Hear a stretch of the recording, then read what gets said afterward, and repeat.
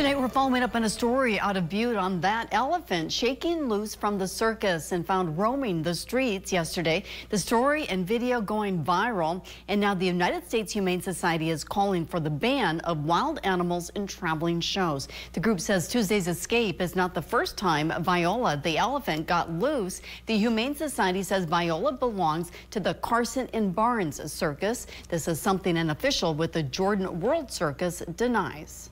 Elephants and other wild animals, to be frank, should not be used in traveling acts because they have no way to express their natural behaviors. They are kept chained, they are kept caged, they are denied everything that is normal and basic to them.